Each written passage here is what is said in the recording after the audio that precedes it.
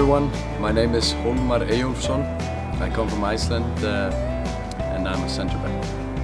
I've, uh, I've spoken to my friend Nikita Rukavytsya and he's told me that uh, this is a fantastic city and that the team has amazing fans. I've seen some, uh, seen some uh, videos and photos and uh, it looks amazing and I can't wait to get started.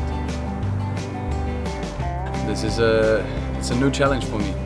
Um, I want to come here and uh, I want to be a part of the build-up that's going on here. And uh, first and foremost, I want to uh, I want to be in the top. and I want to win some some titles with